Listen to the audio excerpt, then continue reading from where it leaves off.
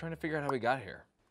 Uh, we took the 405 to the 10 and. No, no, I mean, how did we get here as humans? What do Catholics say? Were our ancestors monkeys or two people who couldn't follow directions? That's easy. Option number three. Ah, you mean monkeys that couldn't follow directions. Hi, I'm Libby. And I'm Kai. Welcome to Catholic Central. Today we will explore what the Catholic Church has to say about the debate between the Bible and evolution. Spoiler alert for Catholics, there's another way. But first, what is this fight all about? Well, in one camp, we have the evolutionists and the theory of natural selection. Charles Darwin came up with this theory in 1859, which states that life started as a primordial soup and evolved.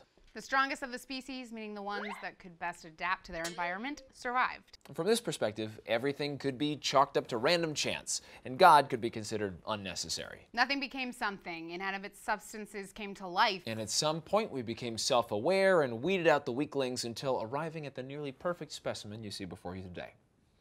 Specimens, sorry. In the other camp, we have the creationists.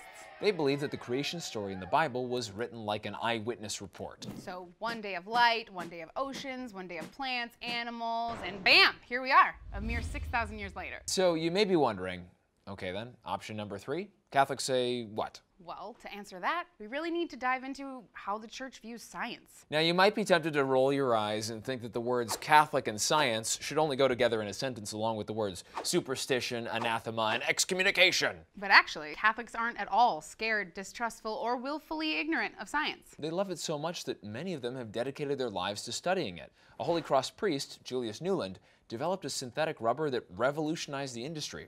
Pasteurization and genetics both came from Catholics, Louis Pasteur and Father Gregor Mendel. Not to mention another priest, uh, Georges Lemaitre, who came up with the Big Bang Theory. Uh, the actual theory, not the show. Which is still the leading explanation of how the universe began. Catholics don't see science and faith as conflicting. You don't have to choose which camp to live in. You can believe in evolution and also in the creator of an ordered universe where beings evolved according to a higher purpose. Which let's be honest, is actually helpful since science is a little lacking in the where everything came from in the first place and why is it here now and where is it going department. And because Catholics believe God created the universe with order, for them all truth comes from God. So we understand more about God when we discover more about the truths of the universe through science. Science can bring us closer to God. It gives us a greater admiration for his greatness when we see his works. And you know what else doesn't conflict with science? The Bible. Breaking news. Scientific evidence has been found that suggests that our cells are actually made up of tiny dust particles, proving that man's creation from dust in the book of Genesis is true. No, I mean they're compatible when you see the creation story as figurative, not literal, as words and images that point to truth. Especially when you consider that the Bible is full of poetic language, which means something different in Hebrew. Uh, Libby, this is not the time for yoga.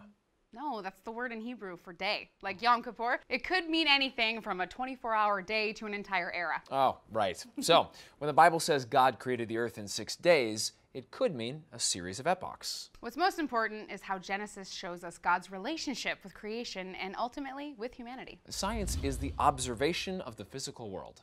So it can't definitively say that God had no hand in creation. And it can't tell us why anything happens either. Or whether it should.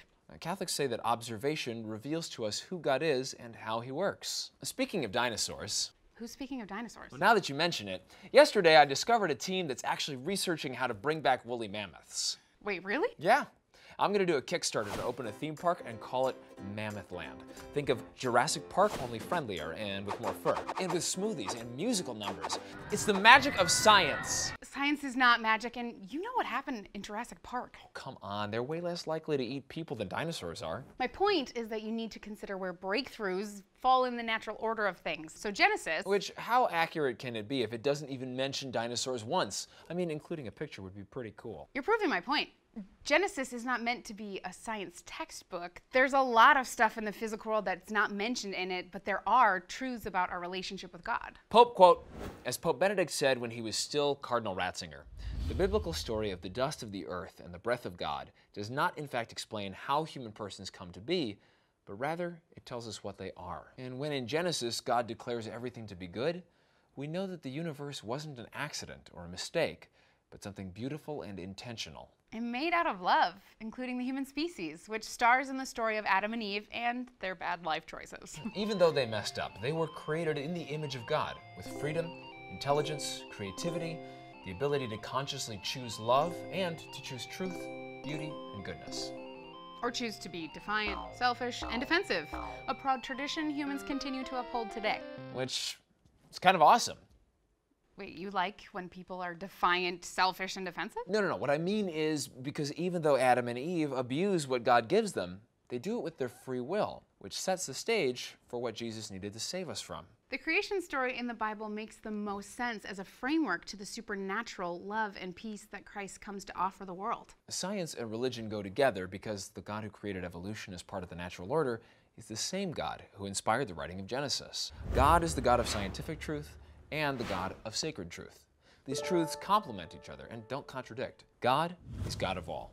And God keeps both scientists and theologians busy. He's always active in showing us his creative love from the galaxies and stars down to the daily lives of every one of us. The process of creation has never ended. Ever since the Big Bang, God hasn't stopped shaping the universe. We can see God at work every day if we look for him. He gives us a world of wonder and the gift of nature to admire.